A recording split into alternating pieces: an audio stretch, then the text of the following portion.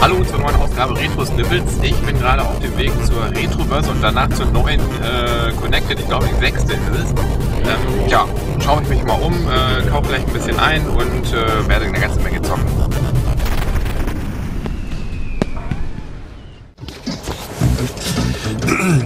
So, jetzt war ich gerade bei der Post, habe ein Paket abgeholt. Das ist natürlich auch noch ein Highlight des Tages. Die Circuitboard-Kiste ist da, sie ist angekommen. Den Inhalt werde ich gleich auf der Retrobörse verticken.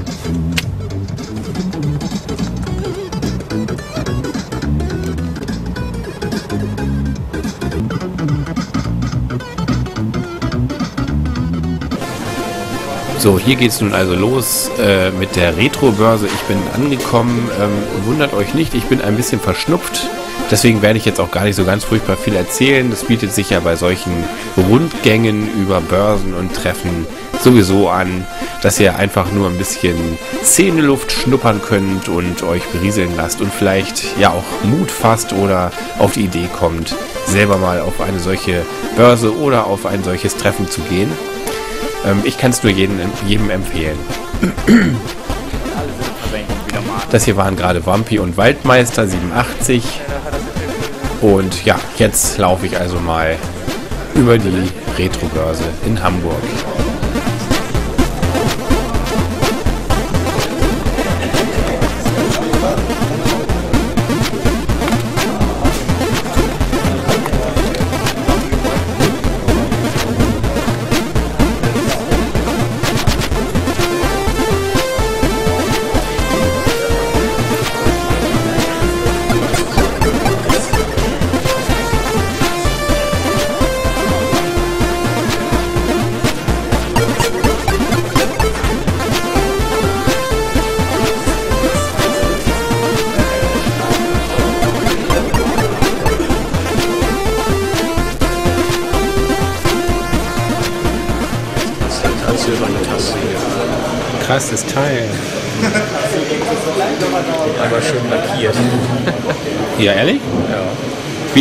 So, äh, Nein, was ist das denn? Das sieht ja cool aus. Ja, das ist doch cool.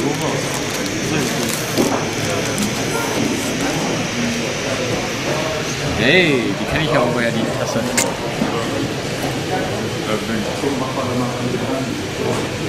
Ja. Das ist immer so es ist sehr, sehr, sehr, äh, so eine Breite sehr gut, ne? Und viele Systeme drin, nicht so einseitig. Ja, schönes Buch. Gefällt Ja, fand ich auch. Was filmst du das jetzt? Was machst du jetzt mit Material? ähm, äh, für ein Retro-Snippet. Achso, du bist Steht das. Ja.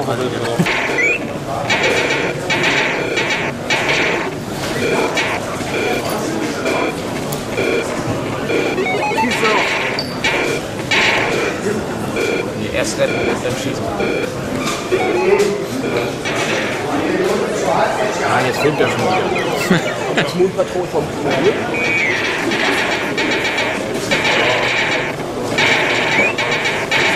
Ja, dann kannst du auch umschalten, dass du jetzt die Bewegungssteuerung hast. Nee, nee, nee, nee. Probier mal, probier mal. Ja, genau. Oh, Ja. was denn? Logensprung? Ich würde das Modul gerne haben. nicht den, nicht den. Ja, eigentlich wollte er hier tatsächlich nur das äh, Moon Patrol Modul haben, wurde dann aber verknackt, gleich mal das Nunjoy auszuprobieren, was Bewegungssteuerung am Atari XL ermöglicht.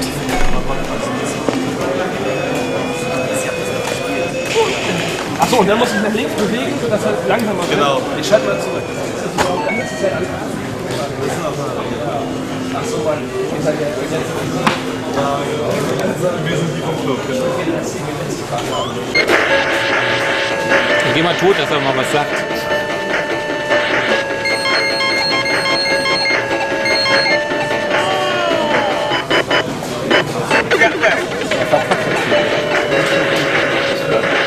Ich wollte die Sprachausgabe hören.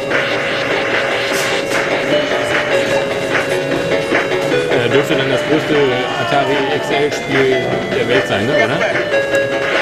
Tja, um die Sprachausgabe mit reinzuquetschen, ist es nämlich immerhin ein Megabyte groß und wird deswegen von ziemlich großen Modulen gestartet.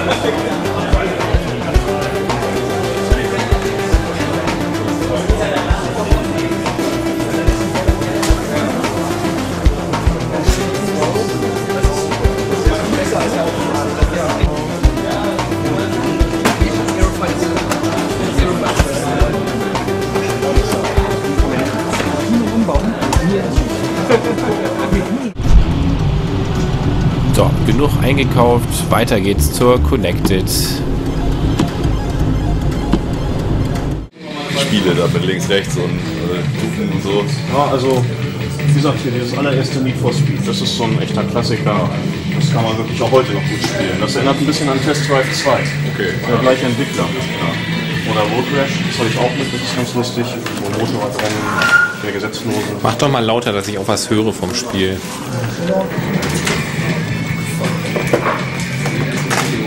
Hier auch Volume? Da gibt es halt auch die ganzen äh, Laser-Discs, wo du einfach mit Video Ich habe das Ding auch.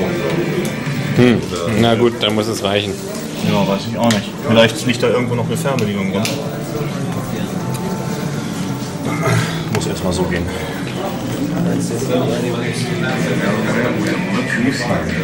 Das war natürlich auch damals so der letzte Schrei. Ne? Man hatte diese Videosequenzen da drin. Ich fürchte, diese Grobpixeligkeit wird auf dem Video nicht mehr ganz so zu erkennen sein. Schade eigentlich. Ja. So. Ja, hier kann man die Strecke wählen. Das ist auch so original wie bei Test Drive 2. Ich glaube, es ist sogar der gleiche Fuhrpark. Ferrari, Testarossa und Lamborghini. Hast du nicht gesehen. Hier in Uetersen plötzlich wieder Schnee. In Hamburg noch gar nichts. Ich habe irgendwie eine halbe Stunde von Wilhelmsburg bis, bis A23. Da war nichts.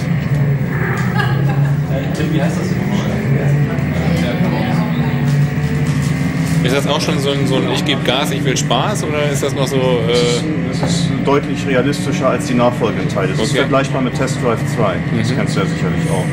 ja, grob. Hm? Es, ist der, es ist auch der gleiche Entwickler, sagte ich schon. Distinctive Software oder so heißt die, glaube ich. Es gibt eben auch, man wird auch von der Polizei verfolgt und wenn man sich einholen lässt von denen, dann gibt es halt ein Ticket und man hat halt immer nur diesen einen Gegner. Aber stimmt, das sieht eigentlich für 3DO echt gut aus. Ja. Es hat auch irgendwie so von den Farben her recht realistischen Touch. Das ist ganz, ganz, ganz witzig gemacht. Ganz andere Optik als die späteren Spiele, die da auf Playstation rauskamen.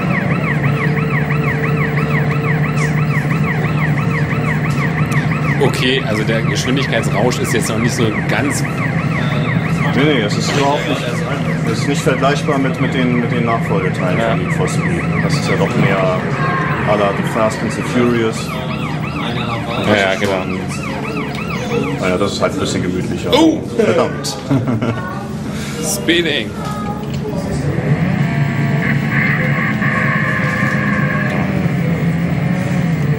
Cockpit-Perspektive ganz nett. Und das ist auch, ich glaube, das Cockpit haben sie original aus Test Drive 2 übernommen. Jeder Wagen hat, glaube ich, auch schon seinen eigenen Motorensound. Ein eigenes Armaturenbrett.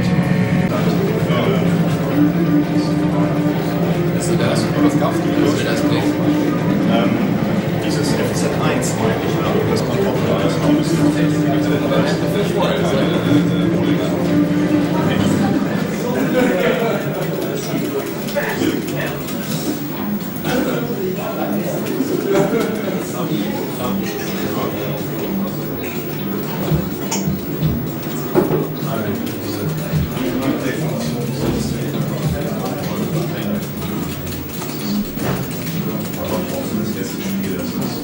ja, aber das ist äh, illusorisch, ich meine, ja, gut. sofort, ne?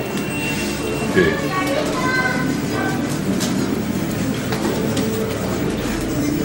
Ja, genau. Wenn du, Ist das. wenn du über so Ding rübergelaufen bist, äh, naja, Das ist es. sehen. Das ist gleich sehen, genau. Das, das wird. äh, RGB-Kabel dafür bestellt, ein fertiges. Mir war das zu doof, da zu suchen und zu löten. Und war auch nicht so teuer, ehrlich gesagt. Also du darfst halt, du darfst nicht oben gegenkommen. Ne? Wenn du oben jetzt ankommst, bist du tot. So, jetzt bist du draufgegangen. Du musst halt immer wieder springen, bevor du nach oben landest. Und darfst auch nicht halt ins Leere fallen. Also jetzt nicht so. Ja, das ja. geht auch nicht. Da, so, das, Oh, das ist witzig. ja, das geht auch. Das ist richtig geil. Dann kannst du auch zwischendurch noch Sachen einsammeln, auch Luftballons, dass du langsamer fliegen kannst und so. Ja, das ist ja, das ist ja eine Diva. Ne? Das ist halt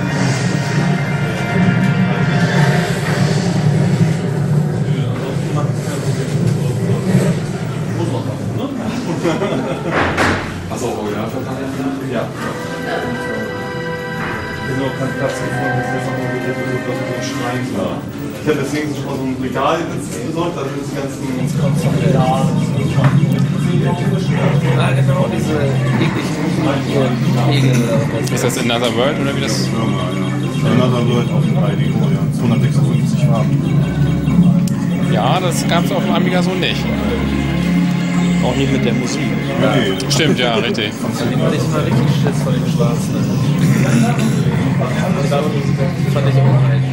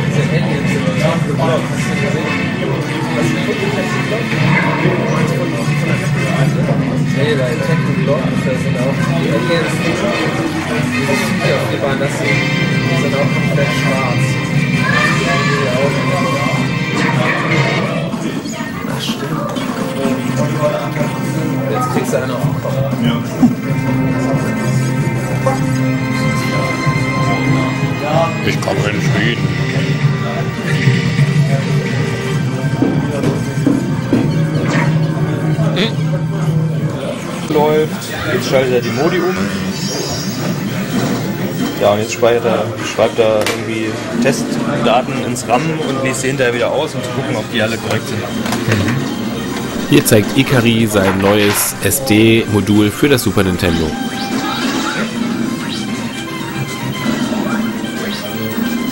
Eingezeichnet.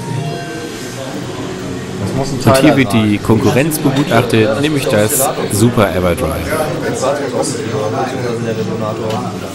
Macht er auch heiß? Er macht warm, ja. Du musst da rein und ganz. Von der anderen Seite gebe ich einen LR20 Grad. Ja. Kriegst du schnell für Hitze rauf. Und dann hast du ihn zumindest lose. Das heißt aber nicht, dass er rausgeht. Ja, ja, ja, ja, na klar. Dafür habe ich das grobschlächtige Werkzeug noch. Gehst eben im Föhnball. Puh, ist er ab. Hä, was macht er denn da? Da macht er den Föhn. Also solange Andreas nicht hier ist. Ach, F nach 2100, dann geht doch das Bild aus. Hm. Nee. Das ist nicht. Genau die richtige Konstellation. Das ist nicht von mir. das Board? Ja. Das ist doch von Krieg. Das ist ja ein Ever. Kreatur diesen Kanal bewacht. Das sind Gerüchte. Ja, Gerüchte. Weil noch keiner von hier zurückgekehrt ist. Ein Plaxer. Können uns von überall angreifen.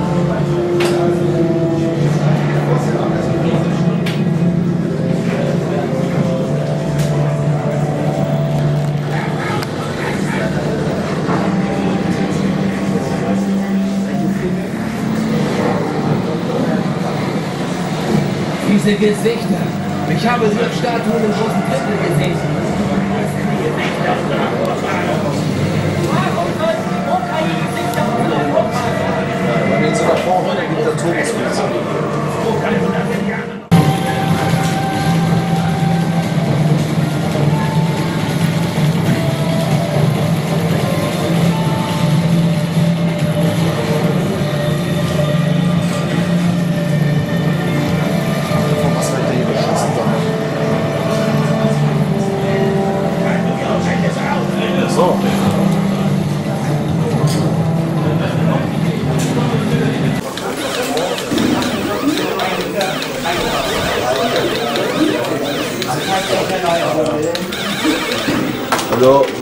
Sachen gehen.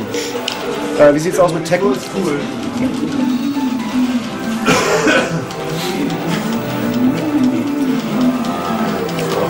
schon wieder.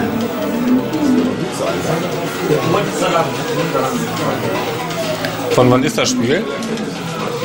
Was ist das überhaupt? Ist das nicht hier Dragon, Dragon Blaze, genau. Ich glaube, für PS2 gibt es das glaube ich auch. Was? Mal gucken. Gibt es da Splitscreen? Ja. Wollen wir mal zu zweit?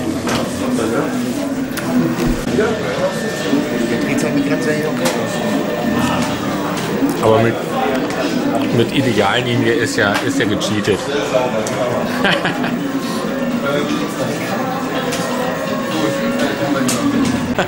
Ich darf keinen Namen nennen. Anonymer Spender, ne? Ja. Ja, nicht schlecht.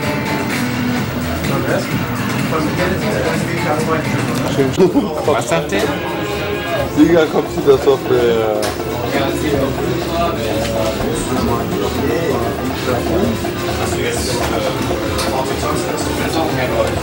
Schon die Musik macht doch irgendwie nicht an, oder? Die leiert da so.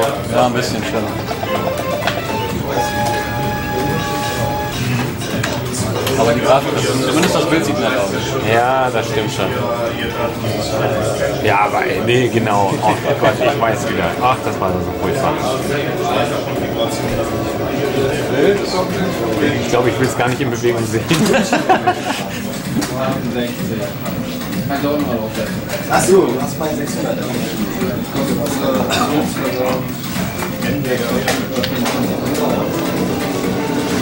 Weiß Bescheid, ne?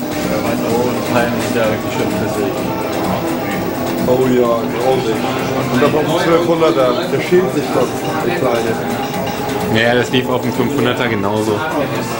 Mach's nicht nur schlecht, du würdest. Imposant. Im, hinteren Stein im Arsch Geröll, ja. Das, ey. Grausam. Als C64-Version? Ich glaube, Ja. das ist besser. Auch, aber hat, ja, keine Ahnung. Also alles gut. Siegel gebrochen, aber ist alles Reicht drin. das als Beweis? Ja. Schön, schön. So, jetzt muss ich erstmal was.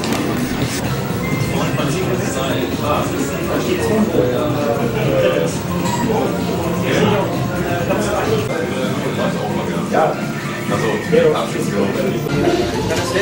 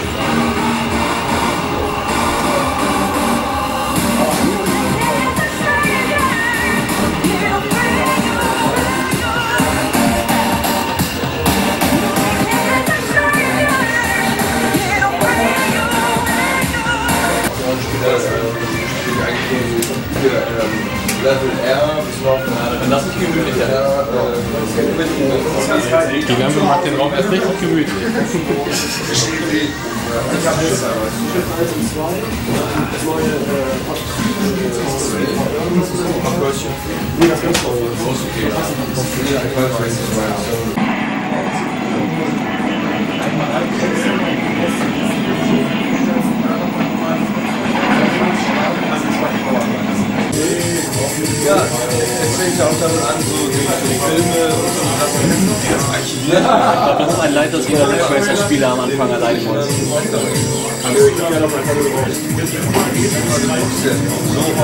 also ich weiß ja nicht.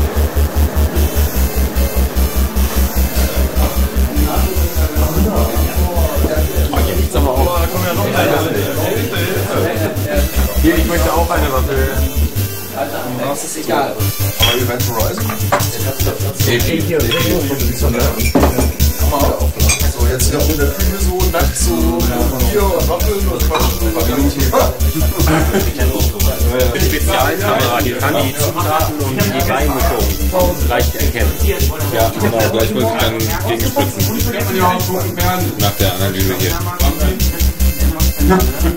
Jo, das ist gleich. Sascha, ich wollte gerade sagen, komm nicht von uns. Jo, danke.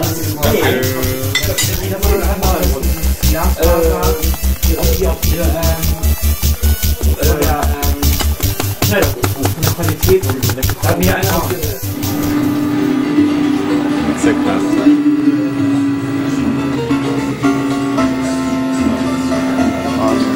Ja, in der PC Engine Version von Galaga 88 ist mir ein ziemlicher Run gelungen. Ähm, Soweit war ich nicht mal annähernd vorher.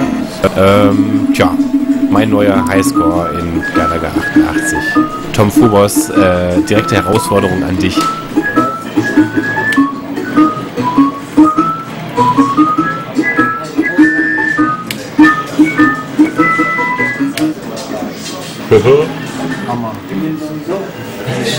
Oh, was ist das denn jetzt hier? Leben des Traums.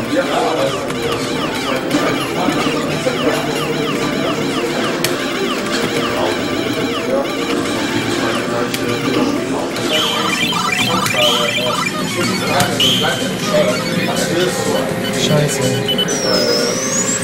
Wir waren ganz schön weit weg von der Docking-Geschichte jetzt hier. Wie die. Sind unterschiedlich weit weg dann. Ja, kommt drauf an, wo du stehen bleibst.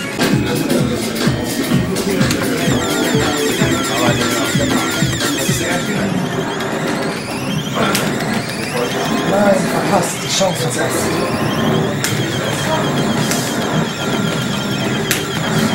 Und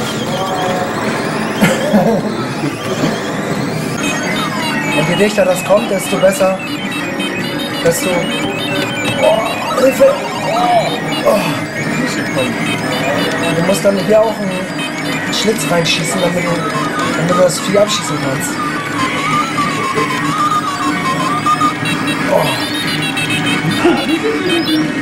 Hey. Ich hätte es noch ein bisschen weiter runterziehen lassen müssen. Dann ging es mehr Punkte, bis zu 10.000 Punkte die das sind. Aha. Weil du es dann spannender gemacht hast oder was?